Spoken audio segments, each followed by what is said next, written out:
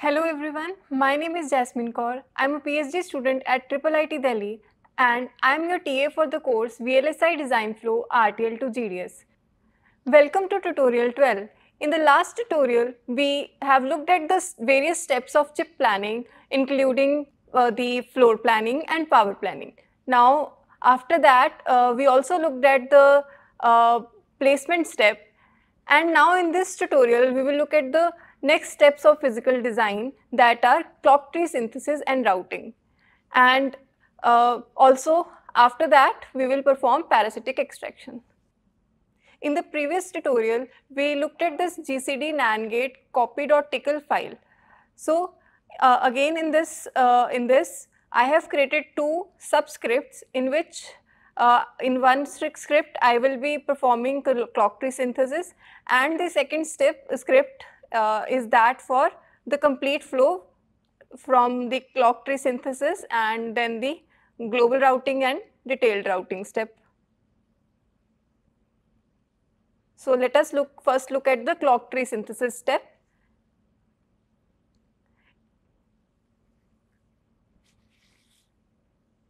So in uh, these, firstly, these are the uh, steps that we already did in the last tutorial and now we will uh, start with clock tree synthesis. So in this, firstly, we uh, repair the clock inverters. So this basically clones the clock tree inverters next to the register loads so that CTS doesn't try to buffer the inverted clocks. Now we are performing the clock tree synthesis and here we give the uh, list of buffers and the sink clustering is enabled here and the diameter for sink, sink clustering is given. Then we repair the clock nets. This is because uh, when we perform clock tree synthesis, there may be long wires from the uh, pad to the clock tree root. So we need to uh, insert buffers in these long wires. So this is uh, next we are doing this uh, detailed placement. So placement of these clock buffers that are uh, that are placed in this clock tree synthesis. And then finally we are uh, creating uh, DB files. Then we perform setup hold timing repair. Now after the clock tree synthesis, we have actual latencies and actual timing of the clocks. So we need to again check the setup and hold and repair the design. So firstly, what we are doing is we are estimating the parasitics here. So either we can do that using global routing or we can just estimate on the basis of the placement. But since global routing is not fast enough for production use, so we will be uh, using placement based parasitic estimation. And after uh, we have the parasitics, we will perform uh, repair timing. So in this, the setup and hold violations are repaired by uh, downsizing of the cells or using high VT cells. Then we are report, uh, reporting the different uh, timing reports, the worst slack for hold and setup time and total negative slack and other things.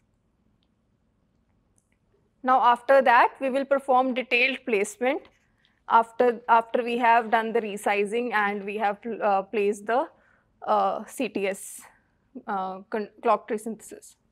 Then we are here uh, uh, creating DB files and writing a Verilog file. Now we will run this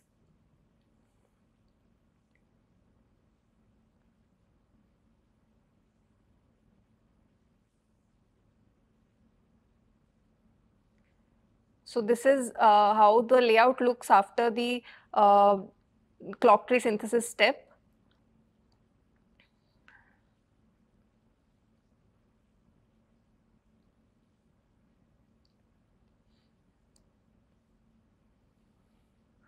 So let us see in this uh, instances, we have this clock tree option. So here we can see that the instances that are inserted after the clock tree synthesis. So the this is we can see this is a clock buffer. So all these cells that are here are the clock buffer cells that are inserted in the clock tree synthesis step. Now uh, we can uh, see the clock tree using this clock tree viewer that is there in this Windows tab. And pressing this update button, we can see the clock tree of the, the, the fly lines of the clock tree. So this is coming from the clock pin and going to these this buffer and this main buffer is supplying the uh, clocks to the uh, these four buffers and, and the, finally that goes to the sequential cells. Here also we can see this is the uh, clock pin going to the one buffer and then that is given to the four buffers and then finally to the standard cells. The next step, let us look at the next step of routing. So we will source this flow.tcl file in the uh, script file that we are using. So gedit flow.tcl file. In this,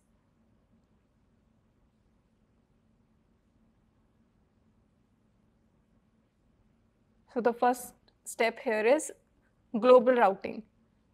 So uh, in this, firstly, we are giving the pin access. Uh, so here we uh, define the routing layers for the uh, for accessing the pins of the standard cells. Then we are setting the route guide uh, output file and finally we perform the global routing. Here we perform the global routing and the number of congestion iterations to check for uh, congestion overflow is 100 here. Then we set the Verilog file, uh, write the Verilog file for the global routing step. Here we are checking the antennas, uh, any antenna violations are there. And uh, after that, we do the filler placement. So uh, the filler cells are placed in this step and then we check for the uh, legality of the placement of these filler cells, if they are uh, legal or not. Then here we are writing the DB file. Then the next step is detailed routing. In this again we are uh, giving the uh, routing layers for the pin access.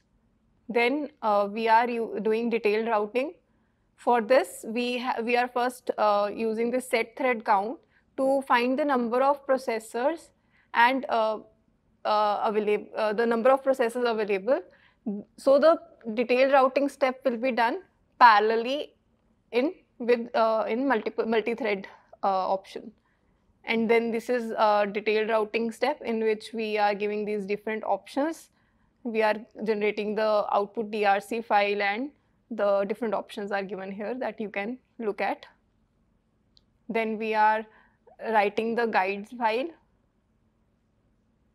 and then again we are checking the antenna violations if there are any antenna violations. And here we don't have any antenna, in, there will be no antenna violations in our design.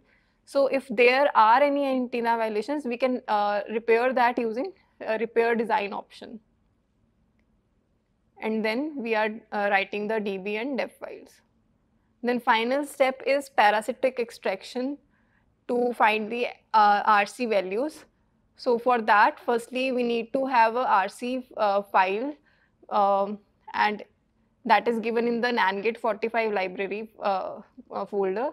And in that, we uh, are extracting the parasitics and then writing the standard parasitic extraction format file.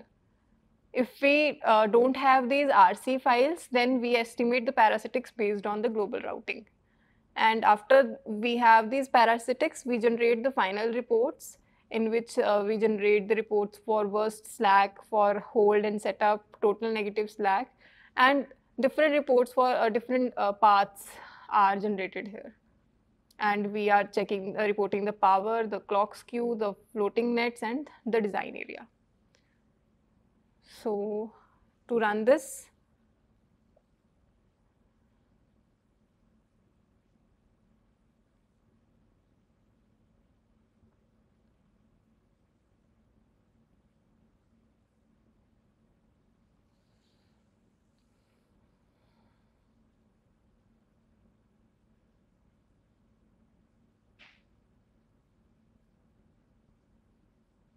So this is the layout that is generated after the complete flow.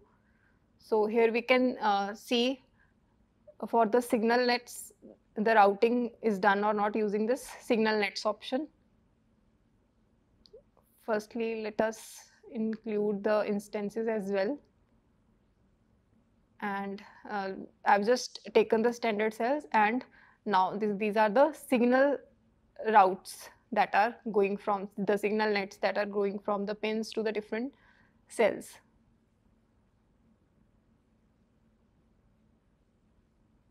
Right? And then these are the clock nets. These are the clock nets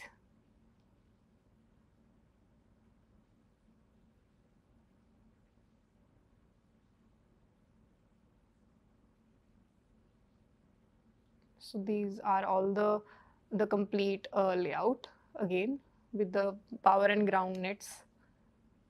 Then in instances, uh, let us check for these filler cells that we included.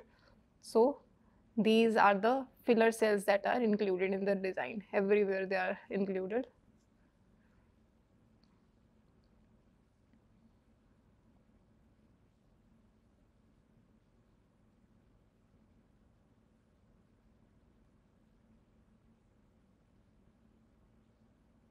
So these are the different op options that you can explore.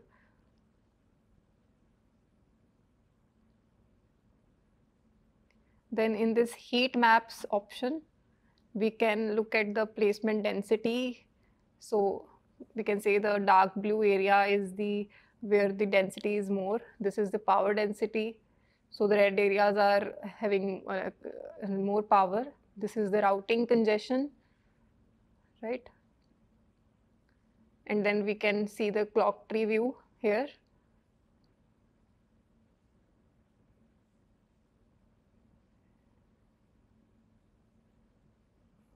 So this was all about race tutorial. So we have covered the complete physical design flow and you can uh, look at the different scripting commands that I use and their options in the OpenRoad GitHub. I will provide you with this, uh, the link to this and uh, that's all for today. Thank you.